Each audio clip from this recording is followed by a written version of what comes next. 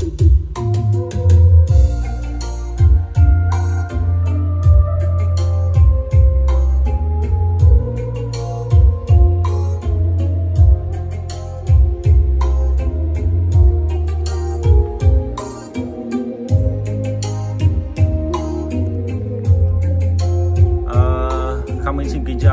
các bác toàn thể quý anh em.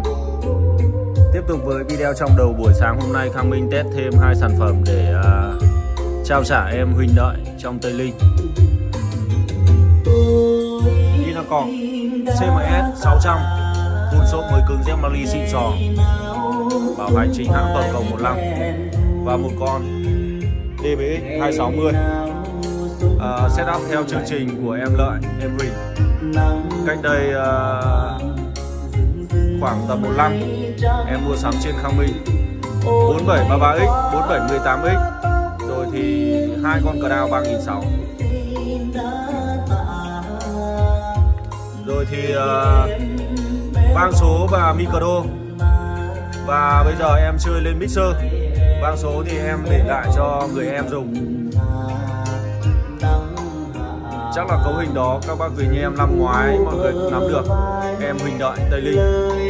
Tiếp tục hai sản phẩm lên được.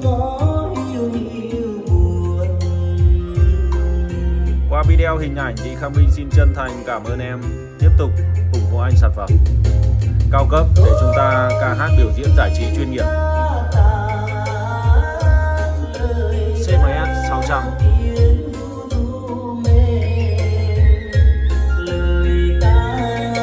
liên tục những cái bàn này lên đường. Các bác quý anh em chơi sử dụng. Nó cực kỳ hay, chuyên nghiệp và vận hành sử dụng, nó rất đơn giản. Rồi thì các anh em làm sâu sự kiện nữa.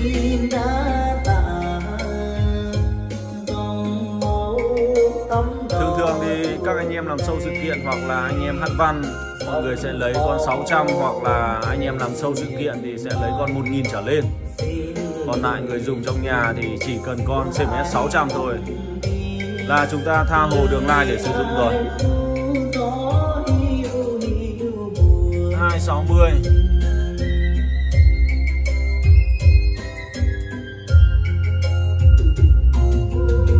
cái điện thoại nó không cả lấy lên được. Đây là cái à, ly lông. Dán cái màn hình. Đó. Sau đó là sẽ bỏ ra khỏi tủ máy để à, setup và lên đường.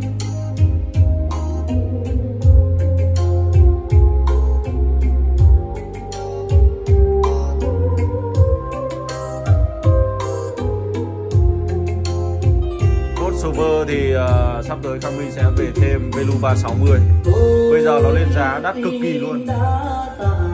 DBX Đài và Đách Velu 360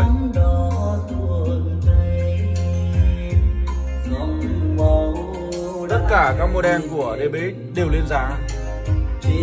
Lên giá rất là nhiều bởi vì bên uh, tất cả những cái đồ linh kiện về âm thanh những thiết bị xử lý uh, tất cả trên toàn thế giới nó bị thiếu hụt linh kiện nên là hàng không có hàng